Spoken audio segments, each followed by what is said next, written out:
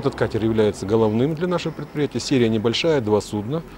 Значит, аналогов прежде мы не делали. Первый этап – это формирование корпуса, постановка его на стапель.